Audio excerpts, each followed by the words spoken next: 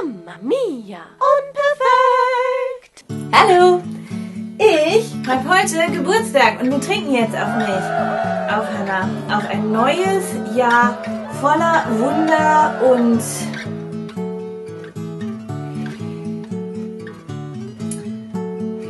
Ja, was denn eigentlich? Hä? Okay, ich muss sagen, wie alt ich werde. Ich bin seit heute 38 Jahre alt und ich habe das Gefühl, langsam wird es ernst, langsam bin ich fast erwachsen. Um das zu feiern, habe ich was ziemlich Schlaues gemacht. Äh, Ich mag Dinosaurier total gerne und wir waren heute im Senckenberg-Museum.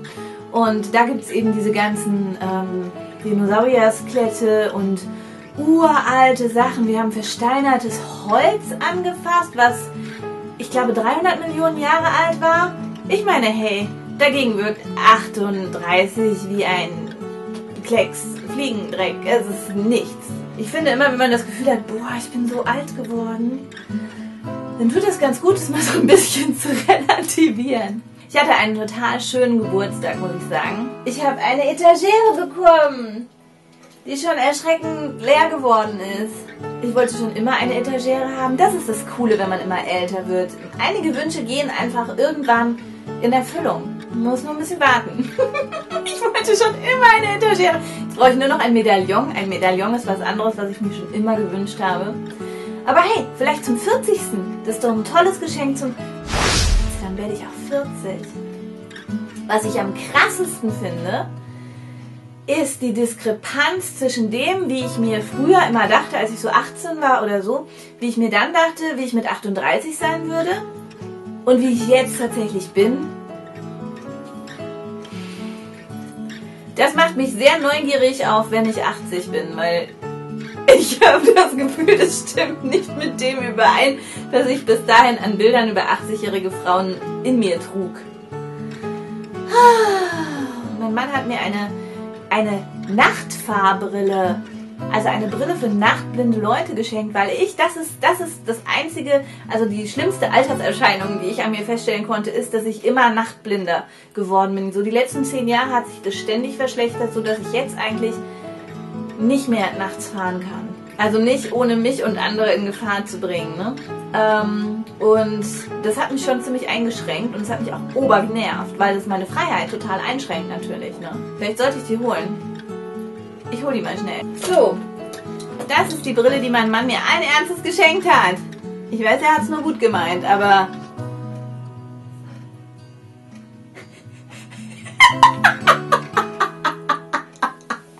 Ah, ich sehe echt komisch aus. Und ich weiß nicht, ob jemand von euch so eine Brille hat. Also das ist wohl so, dass es die Kontraste runterregelt oder so. Das Schlimmste für mich ist, dass ich so geblendet werde. Also einmal sehe ich wenig in der Nacht und dann werde ich auch noch extrem geblendet. Wenn mir ein Auto entgegenkommt, dann sehe ich erstmal ein paar Sekunden nichts mehr. Und das ist eben das Schlimme. Und das hier macht es irgendwie, man sieht alles gelb. Das ist eigentlich gar nicht so schlecht. Und dann ähm, blendet das wohl nicht mehr so. Ich habe es noch nicht ausprobiert. Hey, vielleicht drehe ich nach... Nee, jetzt habe ich Alkohol getrunken. Mist. Ah, das ärgert mich. Na gut, okay. Morgen Abend drehe ich meine Runde damit und gucke mal, wie das äh, läuft. Es ist aber eindeutig Teil der Reihe von Dingen, die mich extrem seltsam wirken lassen. Ich weiß nicht, was ist das? Ich ziehe das an, irgendwie. Was ich mir noch gekauft habe als kleines Mitbringsel für mich selber im Museum, war hier dieses, ähm, finde ich echt ganz schön, ein Memory von Maria Sibylla Merian. Die hat maßgeblich mit erforscht, wie Schmetterlinge funktionieren und gleichzeitig das als Künstlerin auch noch umgesetzt. Und äh, das hier sind meine Lieblingspärchen. Wir haben schon ein paar Mal gespielt. Und wenn ich keins von denen kriege, dann werde ich sauer und will nicht mehr mitspielen. Schön, echt schön. Ich durfte im Museum auf den Vulkanknopf drücken. Ich weiß nicht, wer von euch das Senckenberg-Museum kennt, aber da gibt es so einen Knopf und mit dem löst man einen Vulkanausbruch aus. Also ne, so ein Modell Dings, aber der braucht viereinhalb Minuten, bis er sich aufgeladen hat. Und es ist fast immer unmöglich, den zu drücken, vor allen Dingen, wenn man erwachsen ist. Da ja heute Tag der deutschen Einheit ist und in Frankfurt irgendwie alle möglichen Feiereien sind, war das Museum relativ leer und ich habe endlich bin ich zum Zuge gekommen und das war toll. Das hat mich sehr befriedigt. Luis hat mir noch was geschenkt. Das kann ich euch noch mal zeigen. Ich habe nämlich einen tollen Gutschein bekommen.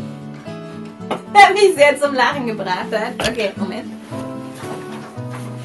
Okay.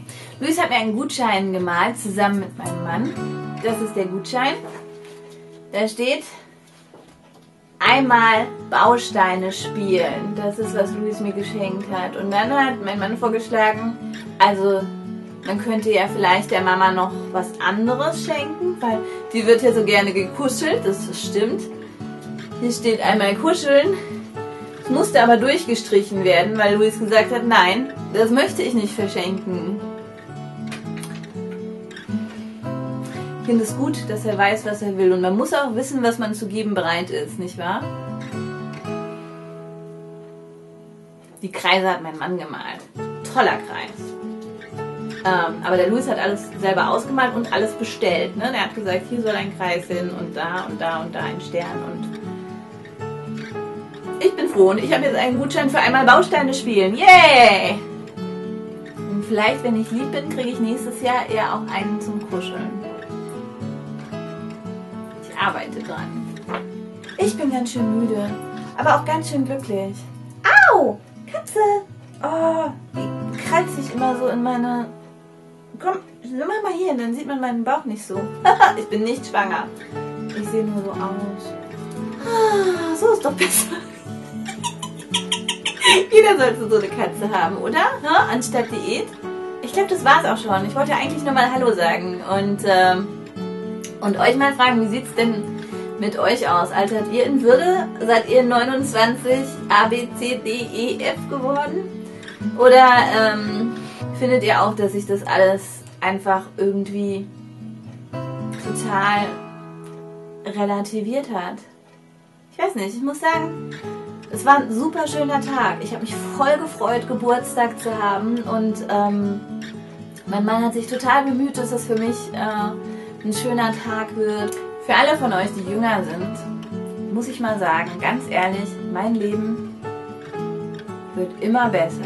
Es gab immer wunderschöne Momente, es gab immer tolle Leute in meinem Leben und tolle Freundschaften und so viel Interessantes, was ich erlebt habe und was ich lernen durfte.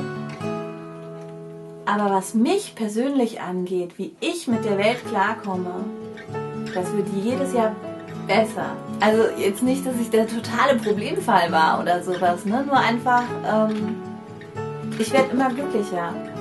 Das ist es eigentlich, was ich sagen will. Ich werde jedes Jahr, stelle ich fest, ich werde immer glücklicher.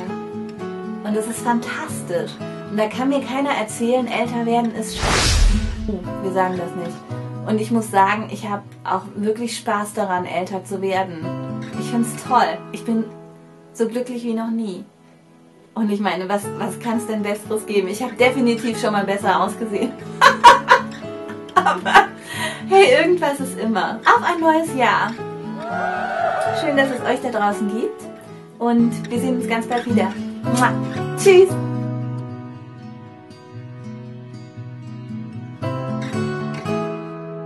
Nichtsdestotrotz, 38 klingt wirklich ernsthaft.